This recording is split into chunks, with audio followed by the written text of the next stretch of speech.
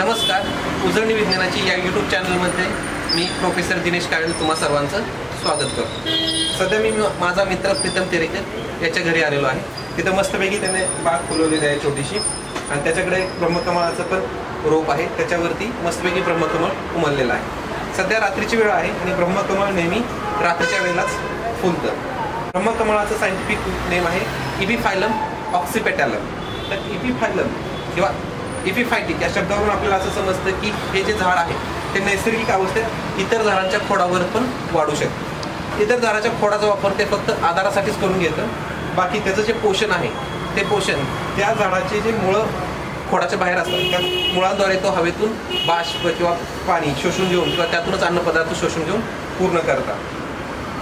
या झाडाची जी डिव्हिजन आहे ती येते अँजिओस्पम अँजिओस्पम म्हणजे ज्या झाडांना फुलं येतात. आणि त्याचबरोबर पुढे जाऊन फळेही येतात. या झाडाची फॅमिली आहे कॅक्टसी म्हणजे हे कॅक्टस वर्गातलं झाड आहे कॅक्टस म्हणजे जे आपण वाळवंटी प्रदेशात वाढणारे निवडून वगैरे म्हणतो त्या वर्गातले येतात. का तर याचे जे लीफ असतात ते थोडा फ्लेशी असतात जाड असतात. आणि या झाडाचं जर बघितलं तुम्ही तर पानावरती बऱ्याच ठिकाणी खाचा आहे. त्या खाचातूनच नवीन पानं फुटतात. किंवा त्याच खाचातून हे ब्रह्मकमळ तुम्हाला उमललेलं दिसतंय. त्याचबरोबर जर हे पान तुटून खाली पडलं तर त्याच खाचातून नवीन झाडाची वाढही होऊ नये. झाडाच्या फुलांना विशिष्ट प्रकारचा वासही असतो. झाडांच्या फुलांना वास कशासाठी असतो? तर ते इन्सेक्टना आकर्षित करून घेतात. कारण की यांना परागीभवन करण्यासाठी इन्सेक्टची गरज पडते. परागीभवन म्हणजेच काय? तर इथं मेल आणि फिमेल रिप्रोडक्टिव्ह ऑर्गन आहे जो फिमेल रिप्रोडक्टिव्ह ऑर्गन आहे त्याला आपण स्टाईल म्हणतो तो थोडासा आउट आउटर साईडला आहे. आणि मेल रिप्रोडक्टिव्ह ऑर्गन जिथं तुम्हाला येलो येलो पार्ट दिसतो ते मेल रिप्रोडक्टिव्ह ऑर्गन्स आहेत. त्याच्यावरती पोलन्स म्हणजेच परागकण आहे. ते परागकण तिथून ह्या स्टाईलपर्यंत जाणं गरजेचं आहे. तर हे नैसर्गिक अवस्थेमध्ये ज्या झाडाच्या फुलांना वास नसतो ते त्यांच्या बाबतीत वारा पाणी घडून आणतात.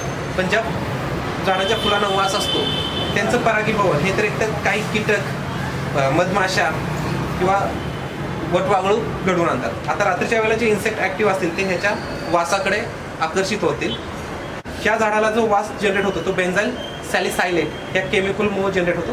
ह्याचा वास जेव्हा बाहेर पसरतो तेव्हा इन्सेक्ट आकर्षित होतात आणि ते हो ह्याचं परागीभवन घडवून आणतात. परागीभवन झाल्यानंतर झाडाचं रिप्रोडक्शन कंप्लीट होतं. यानंतर त्याच्यात विश बी तयार होणं आणि त्याचं फळ तयार होण्याची प्रक्रिया चालू होते. या झाडाच्या फुलाचे काही विशिष्ट भाग पडतात. तिथं तुम्हाला पाकळ्या दिसतात आणि सेपल्स तर पाकळ्या आणि सेपल्स वेगळ्या प्रमाणात ओळखू येत नाहीत त्यामुळे त्यांना आपण टेपल्स म्हणतो. तसंच पाकळ्यांच्या खालच्या बाजूला जे आहे त्याला ब्रॅचिओस्टोल्स किंवा पेरिकार्पल्स म्हणून आपण ओळखतो. तर हे बाकीच्या ऑर्गन त्याचं काम करतात. त्या झाडाचं वैशिष्ट्य म्हणजे याची खोड सहा मीटर उंचीपर्यंतही वाढू शकतात. त्याची खोड आहेत त्या झाडाचा पसारा.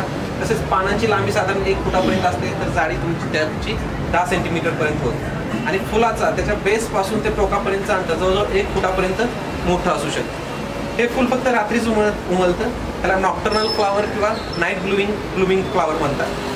सकाळपर्यंत ही कोमेजून निघून जाईल. म्हणजे त्याच्याकडे रिप्रोडक्शनसाठी फक्त आणि फक्त काही रात्रीच्या काही तासांचा अवधी असतो. त्यातच ह्याला त्याची रिप्रोडक्शन कंप्लीट करावं लागतं.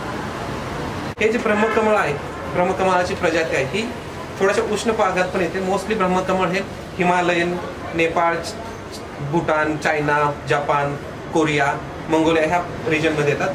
तर त्यातली ही प्रजाती जी आहे ती दक्षिण भारत श्रीलंका मेक्सिको या रिजनमध्ये पण वाढ चांगल्या पद्धतीने वाढतो हे नेहमी सदाहरितच व- वनस्पती आहे कायम त्याची पानं हिरवीच राहतात. जर तुम्हाला हा व्हिडिओ आवडला असेल तर लाईक करा कमेंट करा शेअर करा आणि सबस्क्राईब करा. त्याचबरोबर जर तुम्हाला अजून काही झाडांची माहिती हवी असेल तर त्यांच्या त्यांच्याविषयी तुम्ही कमेंट सेक्शनमध्ये लिहू शकता. मी त्याच्यावरती पुढे व्हिडिओ बनवतो. थँक्यू